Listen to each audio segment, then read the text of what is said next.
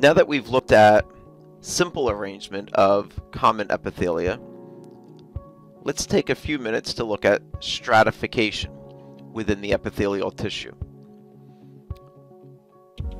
In this segment, we will look at stratified cuboidal and stratified columnar epithelium.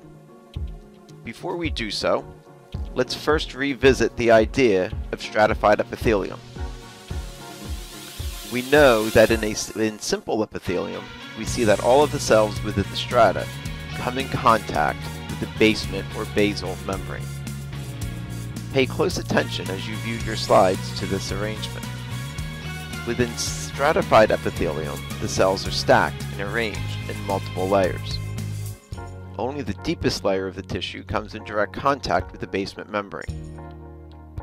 The additional layers of stratified epithelia do not come in contact with the basement membrane. Both of these epithelial cell types are less common within the human body. Stratified cuboidal epithelia can be found within sweat glands as well as the mammary ducts. Typically, stratified cuboidal epithelia are arranged in two layers. They are also still associated with ducts and tubules within the mentioned structures. The cell structure is the same as seen in simple cuboidal epithelia, in that the cells are box-shaped, same width as height, and still contain those large, darkly stained nuclei. Stratified columnar epithelia is even more uncommon within the human body. The main location we find stratified columnar epithelia is within, uh, within the human body can be found within the male urethra.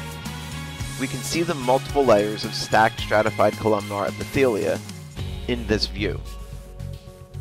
Why do we only find the stratified columnar epithelia lining the male urethra, you may ask? Function has a lot to do with it.